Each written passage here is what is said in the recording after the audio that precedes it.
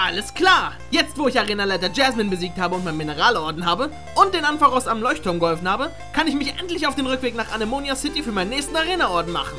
Los, Impergator! Setz Surfen ein!